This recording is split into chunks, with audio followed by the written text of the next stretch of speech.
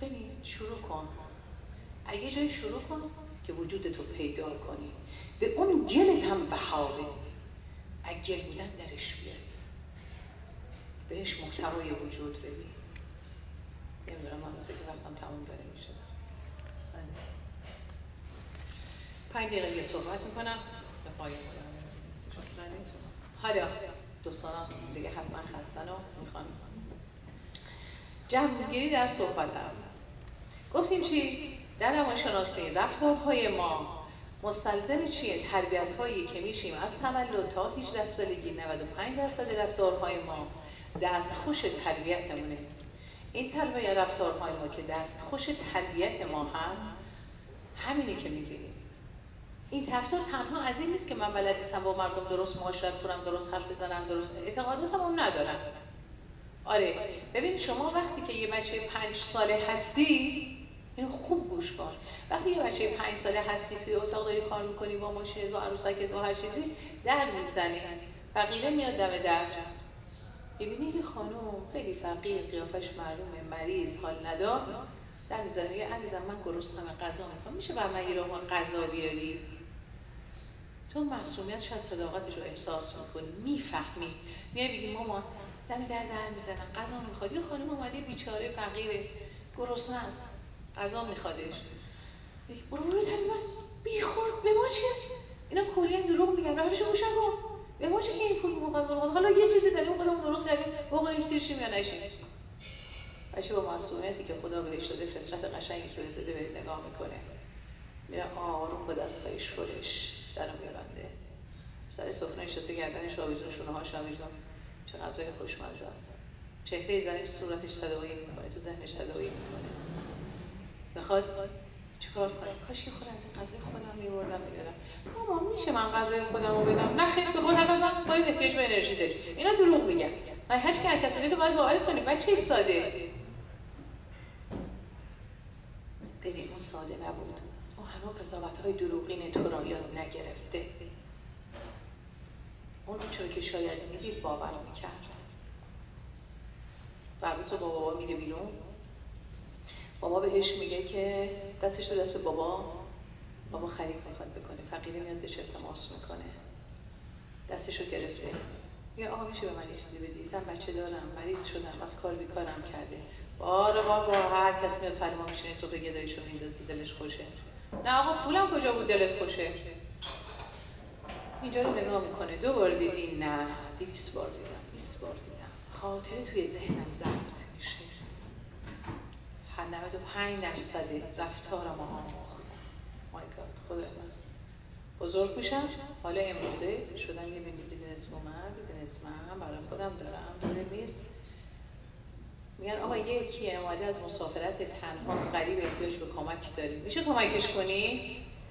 نیروی ناخداگاه میگه بابا اینم فکر کردن حالا من یه قرار پول دارم برام تندی تور انداختن. از کجا آقای فلان خانم فلان این خیلی مستحقه. واقعا هم فقیره. اومده تو را گوی دزدی شده کیفش جیبش زده شده. الان توی غربت اومده اسیره نداره. احتیاج به کمک داره؟ میشه شما کمکش کنی؟ نیرو ناخودآگاه میاد. نه. چی؟ به من چه؟ من چه می‌دونم؟ حالا 5 میلیون الان پول درست من دارم ولی باید برم چه خرید کنم. فرق چه می‌دونم چی به تو تا 20 سالگی 30 سالگی 40 سالگی هیچ پولا رو نداشتی زندگیت هم کردی. اینقدر هرس و نداشتی. چطور شد که اینقدر حریص شدی؟ از اول بودی. به نسبت پولت بودی. اون موقع ده هزار تومان پس انداز داشتی. همونقدر حریص بودی حالا ده میلیون. نه الان هم همه فکر می‌کنن ای خانم کی آقای که نشستی خوب پول داره وضعش خوبه کمک می‌کنه. اگر همه بخوان هزار دلار هزار تومان ده هزار دلار کمک می‌کنن این حتما صد هزار دلار صد هزار تومان این خانم نامور یه شهامت یا بلکه بگم با یه وقاحت. بر اساس ناخداگاه تربیت های خودش در میاره اگر قرار همه گذاشتن هزار دلار این بذاره ده هزار دلار این برات می‌ذاره صد دلار. همه نگاش اما اونقدر اون دلیل داره خیلی راحت با شهامت میگه. شرمنت اومده همه همه جا مستخدی در جست میخ خوب میشه. این چیه؟ آره خیلی هم آدم مؤمنی آزارش به هیچ کس نمی‌رسه. همه کارا رو می‌کنه. نماز شبش هم می‌خونه. روزش هم می‌گیره. ما یه کسی داشتیم وقتی ثروتش رو می‌خواستن جمع بکنن اون موقع می‌گفتن با گونی میبردن این بعد تازه تو اون موقع که گونی بود تومنم بود با گونی می‌برد اگر کسی می‌خواست بره گفت من هر تبرفرز رو خیلی دوستش دارم. خیلی ارادت دارم بهش. چهار, چهار هزار می‌داد. چهار تومن چهار تومن می‌داد. می‌گفت اینو بده. اون باید مثلا چهار هزار تومن می‌داد. از چهار هزار تومن چهار تومن می‌داد. با گونی یعنی انقدر چیز نبود که با پاکت و کیف و اینا باید میذاشتن تو می‌بینی؟ برای اینجوری یاد گرفته بود. خیلی هم از فرض ارادت داشت. با همه ارادت هایی که داشت اون ناخداگاهش اون درون مریضش اون تولد تا پنج پنج تا ده ده تا نوزده سال 18 سالگی اینجوری یاد گرفته بود. انقدر باید بخت باشه انقدر خود فروخته باشه انقدر بیچاره باشه انقدر خسیس باشه. و اونم عمل کرد. پس دیدی اعتقاداتتون خیلی عالیه. از خدا بخواهید برای اعتقاداتتون بیافزایید از خدا بخواهیم که با اون راهی رو که نرفتید و درست در کودکی آشنا نشدید. به وسیله همین و مادر بد آموختید. امروز درستش رو بیاموزید برای همین الان می‌خواستم بگم که ممکنه من پدر و یا مادری داشتم که اون چرا که باید به هم میاموخت نیاموخته یاد نگرفتم. اما امروز فرد بالغ عاقلی برو دنبالش. آره 95 درصد رفتارها گفته باید اینجوری باشی. هر چی بیدین تر باشی روشن فکرتری هر چی بی محتوا تر باشی فکر می‌کنی وجود گلی بیشتر رشد کرده. راست میگی هر چی اصیل گلی به گلی بنابراین برای که روحت آزاد بشه باید روانت هم سالم بشه. برای آزاد شدن روح باید امروز در این دوران خداوند از تو بود روانشناسی و الهه شناسی تو رو کمک می‌کنه. واجب می‌کنه. بیا اگر تمام عمرت توی قفلت بودی و هرگز نتونستی از اون عادتهای ناخداگاهت بیرون بیای و در اسیر رفتارهای ناخداگاهت هستی یک فرصتی بهت میدم برای سه روز ده روز خودتو پیدا کن. الگو برات می‌ذاره. بهترین انسان ها تعریف برات می‌کنه. بهت اجر میگه. می‌بره در سرزمینی که هیچ سرزمین معمولی نیست. اگر شما دنیا گشته باشید که انشاءالله درک می‌کنید تمام دنیا رو بگردید به یک لحظه زیبایی خانه خدا نمی‌رسه. نمی‌خوای قبول کنی که جهت روانی یک کار فوق العاده است به غیر از انسان.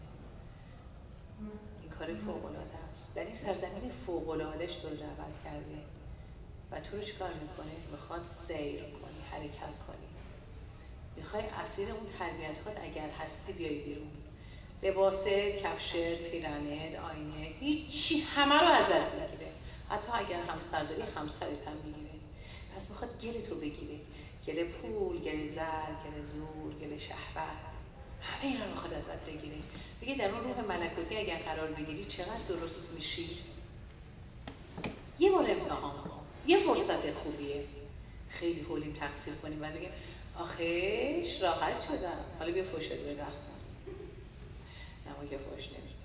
چون می‌دونی بعد یک گوسفند رو کشی یادتون باشه. خب امیدوارم براتون تا حدودی گفته باشم. اگر دریا بود قتلش گفتم. ولی اگر در خانه ما کس هست یک حرف هست. اگر فرصت بشه نمی‌دونم چقدر هست یا نه. باز هم یک رو ده دقیقه برای موضوع دیگه باشه نمی‌دونم حالا نمی‌تونم قول بدم ولی از خدا می‌خوام که حتما در این سه چهار روز یاد من باشید. باید از دلتون که بیرون نمونه باشه. برای ابد از این تربیت های غلطتون بیایید بیرون. دروغ بغض هرس طمع. آز حسادت رقابت حقارت. ما دو تا سه تا مثلثی داغونمون می‌کنه. به هم به اینها میگم مثلث های شوم مثلث هایی که در رقابت مقایسه است حقارت حسادت. مثلث هایی که در سزل چی بود گفتم؟ مقایسه حقارت حسادت. مثلث دیگهش هست؟ خش کینه خشم باعث میشه وارد این مثلث بشیم کینه